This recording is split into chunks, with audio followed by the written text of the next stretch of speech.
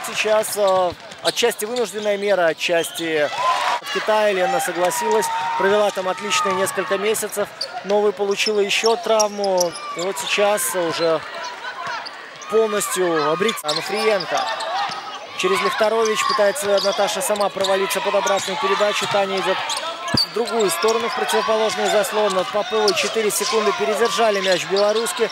Благо Ольга Вашкевич Астаенко заказывает комбинацию. Катя Снытиный мяч через Лихторович не уходит. Таня в правую от себя сторону идет. И классно с набросом, с таким мяч наклеп. Самый актуальный у китаянок 5-0. Лена Левченко здорово в защите отработала на ногах.